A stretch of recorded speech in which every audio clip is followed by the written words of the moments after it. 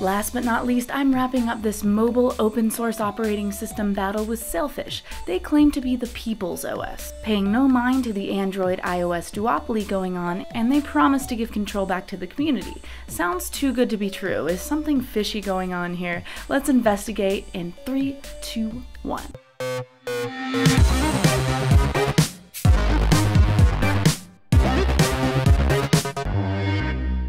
Brought to you by lynda.com. What's up? I'm Nixie Pixel and you're watching OS your source for open source. So it's been fun, guys, but this is going to be my last review of mobile open source OSs. So far, the lineup has been Tizen, Firefox OS, and Ubuntu Touch. If you haven't seen all those videos yet, you really should because my next one's going to be my last comparison, final thoughts, basically just an epic brain dump about who I thought won the battle type thing. But for now, let's concentrate on Sailfish and why should I care about it? Jolla Mobile had a vision of using Mer with phones. It's an Ubuntu based software distro. Mer is a fork of a dead and once heavily advocated OS. Perhaps you remember it. I'll give you a hint. Flashing back to my video on Tizen, Impressively enough, this concept has been brewing in the brains of Canonical, Fedora, Debian. That concept was originally called MeeGo, and the large open source family contributed to its growth. Those are really big players, and a lot of you followed the progress of MeeGo's development, so you were understandably really peeved off when Nokia decided to pull it. You even wrote to me with comments harboring general disgust for MeeGo having been canned after being so long in the making. While the Finns over at Jolla heard and agree with us and give us Sailfish in return. It's a revival of MeeGo with Mer as the core. It supports ARM and x86 devices as we tend to see with any good Linux-based OS. Qt, QML, HTML5, and Real Linux sounds real good, but I think one of the encouraging aspects of this whole OS is the philosophy behind it merit over monetary gain. The Mer project is non-profit and is doing really exciting things, like being developed with transparency and device manufacturers in mind. But enough of this abstract, how is the look and feel? Using Sailfish OS. In my previous reviews, I've been ranting about how Android esque all these alt OSs are. Sailfish is in a league of its own in this regard.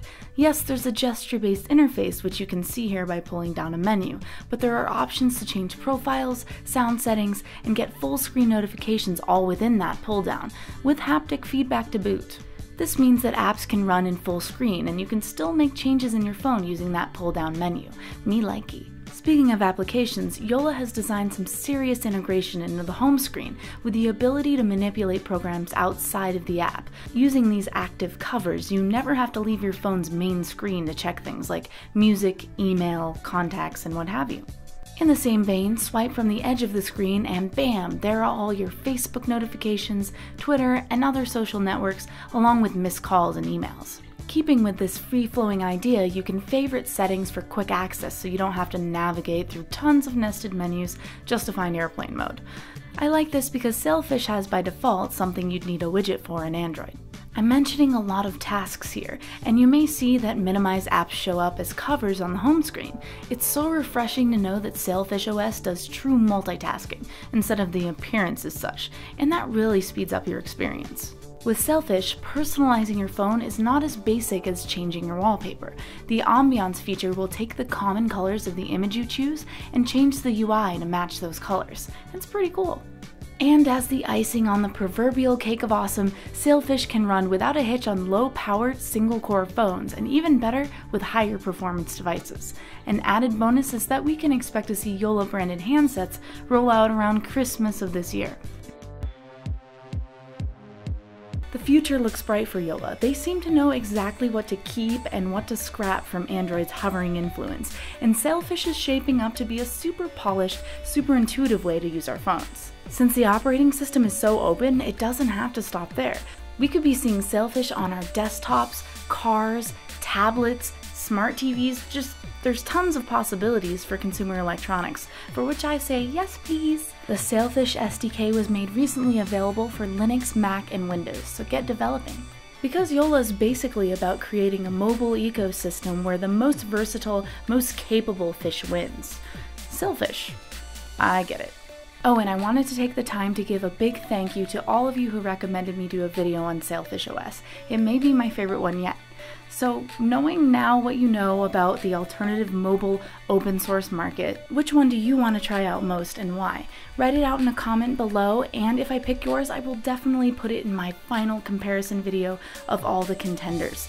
So, thanks for watching OSAlt. Be sure to subscribe so you don't miss out on next Friday's episode of All Things Open Source. And I guess I'm done because my light is kind of flickering on and off there. Yeah. See you next week. I'm so proud when I teach myself things HTML, networking, building computers, even a little bit of Java. But the bummer thing is that when you learn something in the tech industry, you become outdated in a month if you're lucky. Lynda.com feels my pain. It's an online learning company updated every week with more than 77,000 video tutorials that teach a bunch of geek and nerd skills so you can be on top of it and stay current. And if you're a member of Lynda, you get unlimited 24 hour access to video courses taught by expert instructors with real world experience. It's kind of like what I do with you guys, but lynda.com is a veteran. Their site has been around since before YouTube. Become a master in the programming, business, photo, audio, and video, or web design field. Even learn how to rock it open source style. And now you can try lynda.com completely free for seven days by visiting lynda.com slash osalt.